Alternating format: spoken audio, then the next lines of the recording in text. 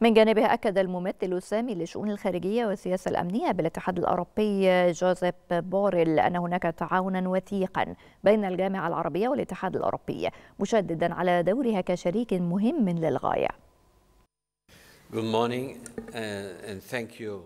Thank you to the أنا أنتهز هذه الفرصة كي أكرر أن جامعة الدول العربية هي شريك مهم للغاية للاتحاد الأوروبي وأنه على مدار سنوات كنا نتعاون تعاونا وثيقا في مسائل مهمة بالنسبة لنا مثل مكافحة الإرهاب منع انتشار الأسلحة حقوق الإنسان. وكذلك عملية السلام في الشرق الأوسط.